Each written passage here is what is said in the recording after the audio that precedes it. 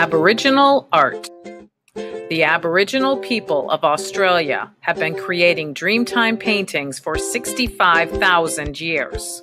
In 1971, a school teacher noticed that when Aboriginal men were telling stories, they would draw symbols in the sand. He encouraged them to paint the stories onto canvas and board. Thus began the famous Aboriginal art movement. Aboriginal artists developed the dots to disguise the sacred designs so the real meaning could not be understood by Westerners. Background colors are laid down first, and then simplified silhouettes of animals, birds, plants, and water are overlapped on the background. The bright dots are placed with different sized dowels.